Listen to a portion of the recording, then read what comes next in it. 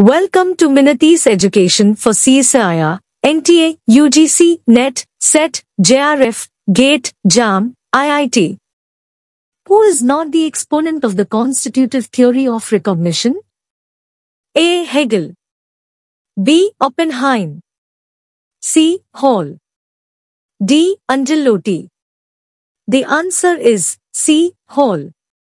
Hegel, Oppenheim, and Anzilotti are all chief exponents of the constitutive theory of recognition. This theory holds that the existence of a state is not automatic and depends on the consent of other states.